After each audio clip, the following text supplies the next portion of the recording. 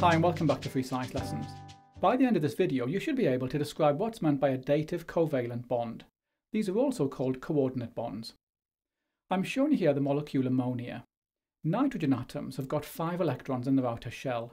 In ammonia, the nitrogen atom has formed 3 covalent bonds to hydrogen atoms.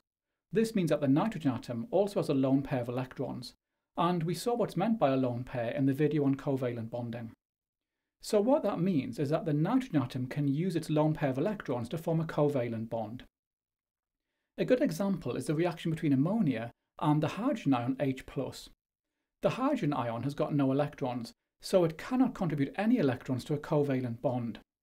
So in this case, the nitrogen atom uses its lone pair of electrons to form a covalent bond to the hydrogen ion, and this forms the ammonium ion NH4+.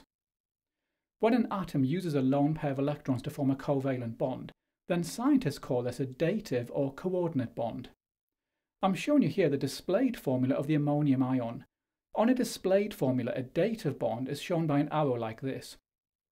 Notice that the arrowhead points away from the element which is providing the lone pair. Now, there are a couple of important points about dative bonds. Firstly, in order for a dative bond to form, the acceptor atom must be electron deficient, in other words, there are available orbitals for the electrons to occupy.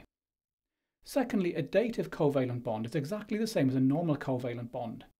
All of the bonds in the ammonium ion are the same length and all of the bonds have the same average bond enthalpy.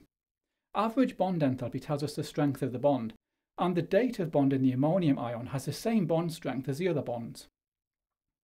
I'm showing you here another example of ammonia forming a dative covalent bond.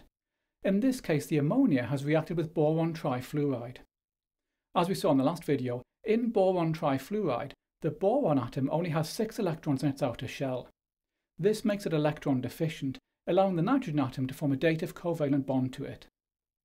In the next video, we look at the shapes of molecules.